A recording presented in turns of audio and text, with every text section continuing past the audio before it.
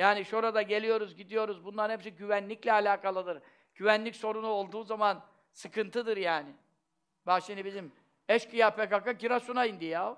Dağlarda şu anda terör operasyonu var. Biz de gittik bir kere Hacı Efendi ile beraber falan.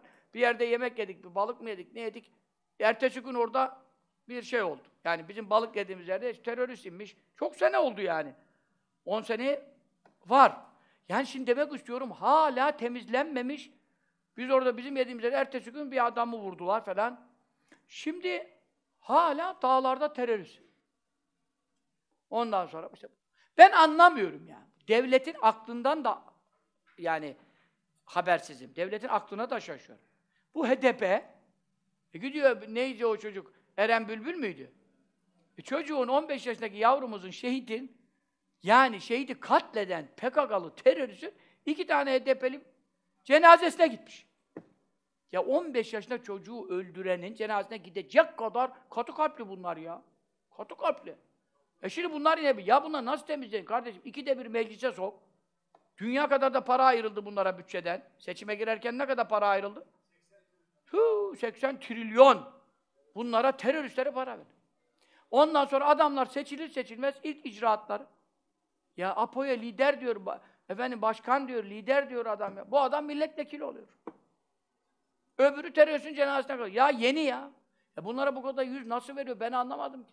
Hala 10 sene evvel gidiyoruz, aynı yerde terör var. Aa şimdi yine bütün Giresun'un yaylalarında, dağlarında terör operasyonu var.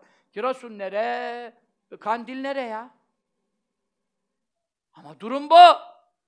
Çünkü Mevla buraya benim Kur'an'ımın sünneti, Habibimin yolunu eli sünneti terk ederseniz ev yelbisekum şi'an ve yuzîqa ba'dakum be'se ba'd. Sizi şialara, fırkalara karıştırırım. Şucu bucuya karıştırırım. Kürtçü bilmem neciye karıştırırım. Ondan sonra size birbirinizin acısını tattırırım diyor. Bu ayet. Allah kadirdir buyuruyor. Kul huvel kadir. Habibim söyle ki kadir olan Allah'tır Celle Celaluhu. Ala en yeb'ase aleykum azâbe min fevkukum. Size üstünüzden bir azap gönderebilirim. Yıldırımları yağdırabilirim. Doluları yağdırabilirim. Niceleri de yıldırımla oluyor. Başka da afetler olabilir. Taş da yağdırdı. Yine yağdıracak kıyamete yakın. Emin tahti arzulikum. Ayaklarınızın altından azap gönderebilirim. Göndermedi mi? Kaç kere sallamadı mı? Zelzeleyle bütün milleti efendim Rabbim kahretmedi mi? Katletmedi mi? Ev müteahhit ev elbise şey yani ya da sizi gökten gelmez, yerden gelmez, içinizden gelir. Sizi birbirinize katar karıştırırım. Şucular, bucular, Kürtçüler, bilmem neciler, komünistler, feministler bilmem. Bir kavga ve udika ba'dakum belsebaz. Size birbirinizin acısını tattırmaya kadirim. Ne demek? Tövbe edin, bana dönün, haramları terk edin, ben size ne gökten ne yerden azap gönderim, her yerden rahmet gönderim. Size cennet hayatı yaşadım. Benim emirlerimi tutun, yasaklarımdan kaçın. Mesaj bu. Resulullah sallallahu aleyhi ve sellem o kadar dua et, o kadar dua et. Üç duasından ikisi kabul oldu. Birinde Mevla ne koydu? Şerh koydu. O da neydi? Ya Rabbi, ümmetimi birbirine düşürme, birbirine kırdırma. Mevlana buyurdu, Habibim, ben insanların ne yönde irade ve tercih kullanacaklarını ezelde bildiğim için, kader ezeli, ilmi ezeli de hata olmadığı için ben her şeye kadirim ama milletin canı ekşili istiyor. Ben bunu biliyorum. Onun için suretlerini maymuna domuza dönüştürmeyeceğim. Tamam söz veriyorum.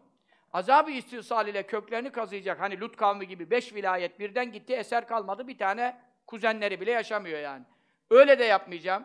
Ümmetin kıyamete kadar kalacak. Azabı istisal denir ona. Kökünü kazıma azabı. İki şeye söz veriyorum. Ama aralarındaki kavga, gürültü ve savaşın kaldıracağıma söz vermiyorum. Bu duanı kabul etmiyorum buyurdu. Niye? El cihad madın ila mül kıyam. Kıyamete kadar bu devam edecek. Ama dış savaş ama iç savaş. Allah iç savaştan da dış savaştan da muhafaza eylesin. Amin. Allahu salli aleyhi.